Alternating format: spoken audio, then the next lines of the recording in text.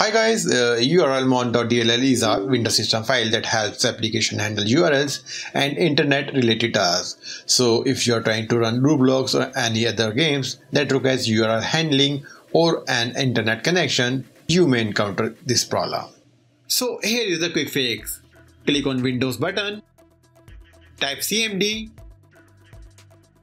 and run the command prompt as an administrator. Please note that we are going to run some Windows command that may take some time to scan and fix the error, so patience is highly required.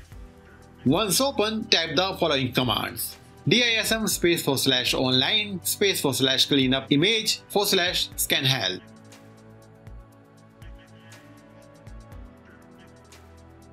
Press the enter button. Once that has finished, type the next command.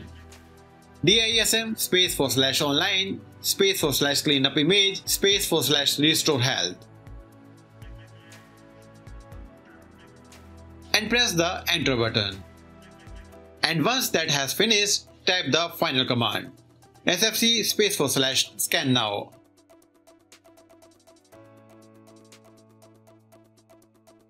And press the enter button. Once that has finished, restart your PC and your problem should be resolved. Stay safe.